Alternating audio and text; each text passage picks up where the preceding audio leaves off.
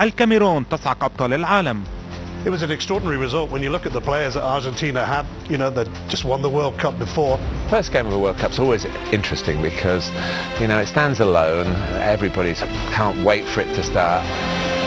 الأرجنتين في مواجهة الكاميرون المباراة الافتتاحية لمونديال 90 كان من المتوقع أن يجتاز حمل اللقب بقيادة نجمه الخارق مارادونا بسهولة خصمه الإفريقي By that time, people were saying, hang on a minute, Africa, you've got to produce a team. You've got some great players.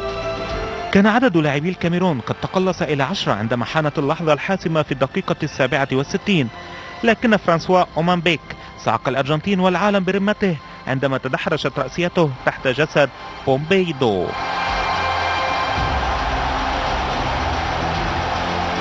They believed in themselves, and I think Argentina were just caught cold. One of those occasions that, you know, was just a complete and utter one-off.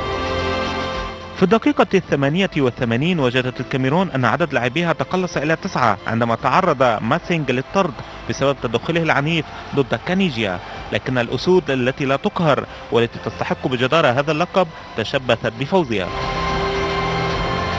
Argentina didn't, uh, they didn't turn up. That was seismic in 1990 and uh, one of the greatest results in World Cup history, if you like a shock.